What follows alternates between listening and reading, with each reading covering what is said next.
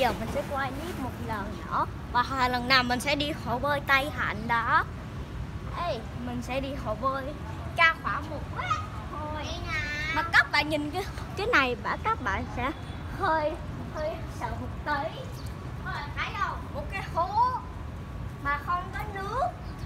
Và đổ xong nó xấu. Mức đó luôn đó.